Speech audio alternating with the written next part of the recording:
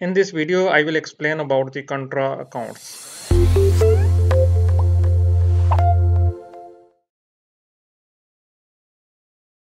Contra means opposite. It means any account which is have a opposite balance to its normal balance. It become a contra account of uh, the classification of those accounts. For example, let's say asset asset normal balance is debit, but the contra account asset balance is credit. Here I write CSCA mean contra account. Let's say liability. Liability normal balance is credit, but in case of contra liability,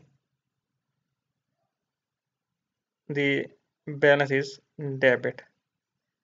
Similarly, we apply same concept on equity. Equity normal balance is credit. In contra equity account is balance is debit. Here we understand that any type of account the opposite balance of the account is called a contra account. The asset opposite balance is credit and liability opposite balance is debit and equity opposite balance is debit.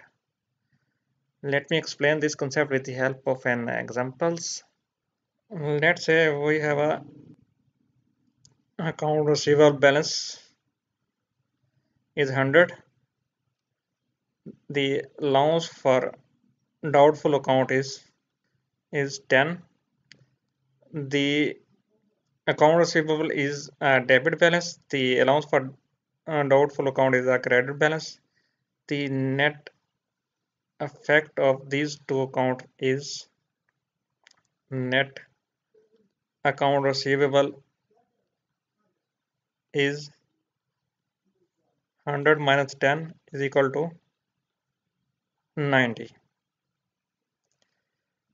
Now, how we represent the contra account on balance sheet? If I in balance sheet, first we write the actual account and here is write 100 then we will subtract the contra account balance I allowance in this case is allowance for doubtful account is uh, contra account I write just abbreviations and we will subtract these amounts 100 minus 10 the 90 90 is our net account receivable balance. Same concept we will apply on uh, fixed assets in fixed asset uh, contra account are used are uh, account receivable.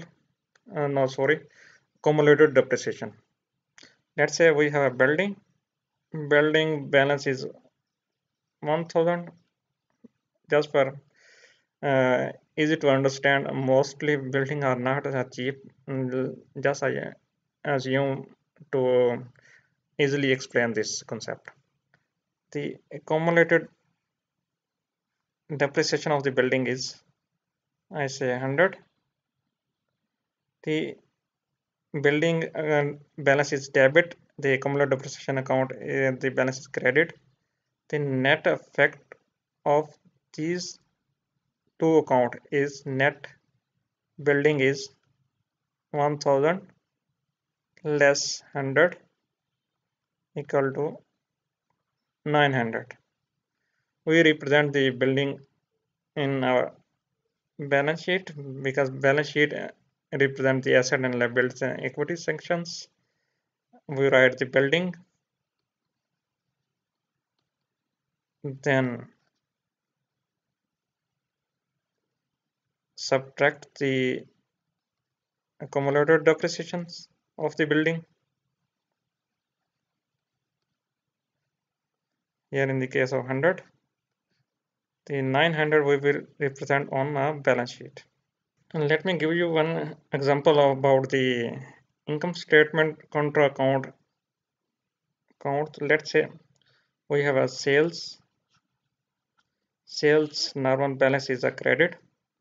This is a debit side it is a credit side. I say sale is uh, 900 sale discount is uh, we have a 50 here is a credit balance here is a debit balance. The sale, sale discount is actually a contra account of the sales. The net effect of these two account is net sale is 900 less 50 is equal to 850 in income statement we represent the contra account in such a way sales less sale discount 50 then we will subtract 900 less 50 850 is our net sale let me give an another example about the equity of the contra accounts let's say we have a common stocks common stock on normal balance is I say it um, 700 the normal balance of common stock is credited. We buy back few shares. Mm, let's say we buy, buy back the 100 shares. The mm, this account we say treasury account stocks it is our normal balance is credit treasury stock normal balance is a debit. It is our contra account of the uh, equity.